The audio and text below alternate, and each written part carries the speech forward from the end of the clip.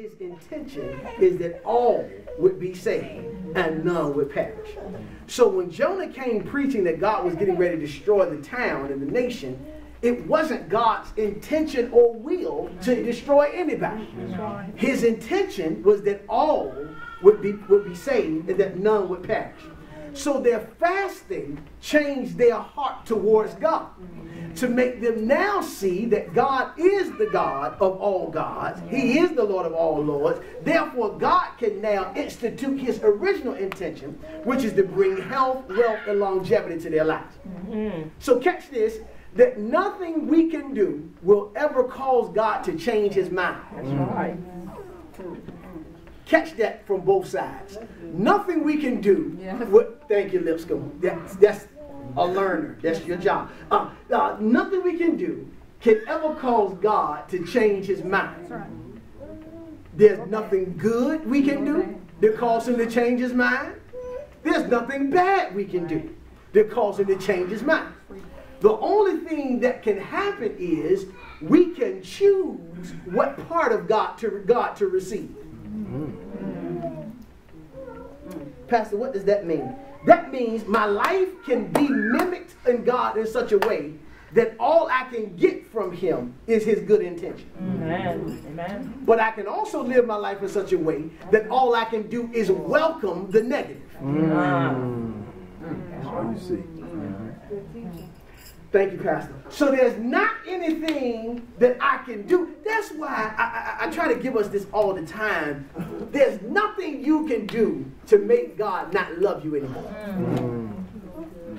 He's always going to love you. And he always has an intention to bring good to and out of your life. I just got to decide how I want to choose to live in his intention. Let me get out of here. The evidence was found in uh, the 18th, uh, the, the, 8th chapter of Esther, uh, the 16th verse, it said that the Jews had light, gladness, joy, and honor. These were the things that came upon them uh, as evidence of what God was doing in their lives. They received joy, light, gladness, joy, and honor. This is the same thing God has in store for us light, gladness, joy, and honor. These are things that, that belong to us as the people of God. Light, gladness, joy, and honor. Says these are the types of things that our lives should be reflected as evidence of that which God has begun and is doing in our lives. Whenever God starts a work, I told y'all this a couple weeks ago, he will always finish the work. Philippians 1 and 6, I'm closing on this. This is one of my favorite scriptures. It says, Being confident in this very thing, that he which hath begun a good work in you shall perform it unto the day of Jesus Christ. Philippians 2.13 says, But it is God who worketh in you, both to will and to do of his good pleasure. There's always a purpose that God has for everything that we endure and experience in life. Psalm 138 and 8, you know, says, The Lord will perfect those things which concerneth you. Thy mercy, O Lord, endure forever. Forsake not the works of thine own hand. God has promises for us, Minister Black, mm-hmm. that he will not forsake the works of his hand.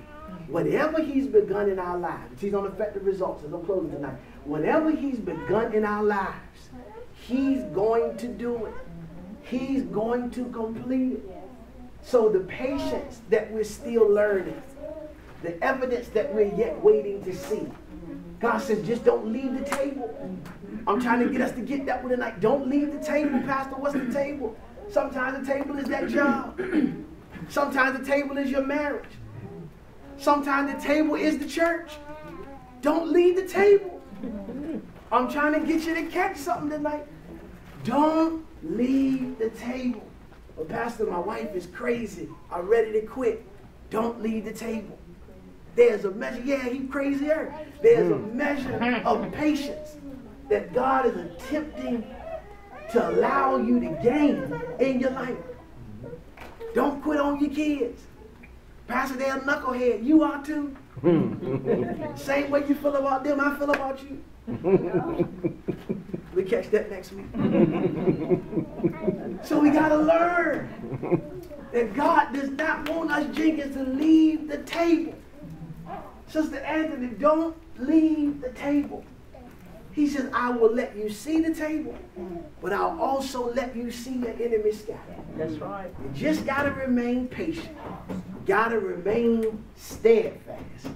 And God will bring effective results. Come on, put your hand together for Jesus tonight. That's all right.